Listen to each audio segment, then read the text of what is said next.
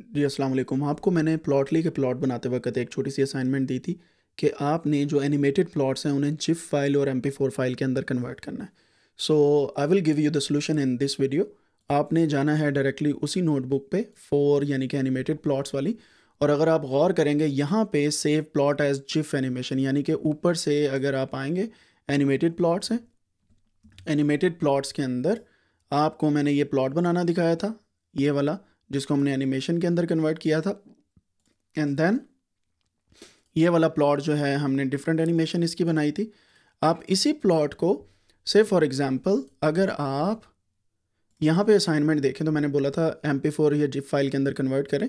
तो आप अगर फिगर के अंदर उसे कन्वर्ट कर लेते हैं तो this is how you can convert that into H M L लेकिन जिप के अंदर कन्वर्टने के लिए या जिप फ़ाइल या गिफ फ़ाइल जैसे बोलते हैं, उसके अंदर कन्वर्ट करने के लिए you need to write that code आपने पांडाज नमपाई आईओ, और पिल को इंपोर्ट करना है और प्लॉटली पी एक्स के साथ ही करना है।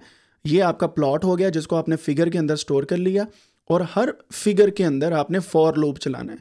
यानी कि ये जितने फ्रेम्स हैं, वो इसके अंदर फिर सेव हो जाएँगे। यानी कि हमारे पास फिग डॉट फ्रेम्स यानी कि ये जो हमारे पास फिगर बनी है ऊपर, इसके हर फ्रेम फ्रेम क्या होता है? ये जो हमने यहाँ पे इसको प्ले किया, ये हर फ्रेम की यहाँ पे वैल्यूज़ आ रही हैं, ठीक है? उस हर फ्रेम की वैल्यू को हमने स्टोर करते जाना है।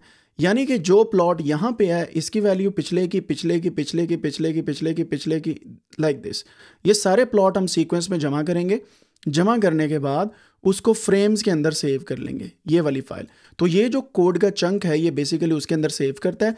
पीएनजी फाइल्स को गैदर करता है और स्केल थ्री का मतलब है हाई क्वालिटी की। अगर आप स्केल नहीं लगाते ये हाई क्वालिटी की नहीं होगी।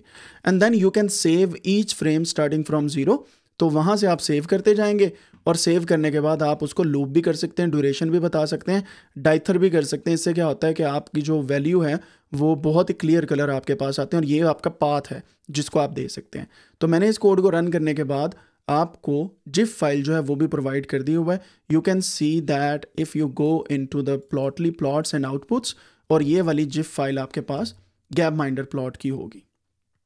ठीक है? अगर मैं इसको ओपन करता हूँ राइट क्लिक करके let me see open with photos करता हूँ। होपफुली ये ओपन हो जाएगी, वरना फ़ोटोज़ का मेरे पास जो सिस्टम है वो नहीं चलता। But this is how you zip file can work and then मैंने सेम कोड आपको जियो मैप्स का भी दिया हुआ है, आप इसको भी एनिमेट कर सकते हैं। सेम वही तरीकाकार है। और आपके पास ये जियो फाइल्स जो हैं वो एनिमेट हो जाएँगी।